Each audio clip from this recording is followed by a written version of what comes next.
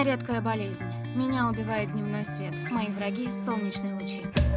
Надо признать это навсегда. И с каждым годом будет только хуже.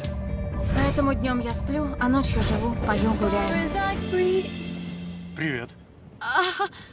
О, что я ему скажу? Привет, я годами наблюдала за тобой из окна и следила за каждым твоим шагом. Я Чарли. Кити, Может, сходим сегодня куда-нибудь? днем я очень занята, но вечером будет здорово. Чем сегодня займемся? Мне хочется кучу всего. Послушай, Кити, ведь Чарли так и не знает. Я скажу, но позже. Хочу еще чуть-чуть побыть по-настоящему счастливой.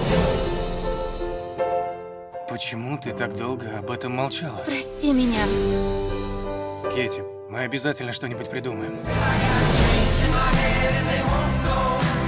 Любить и быть любимой — это самое большое счастье.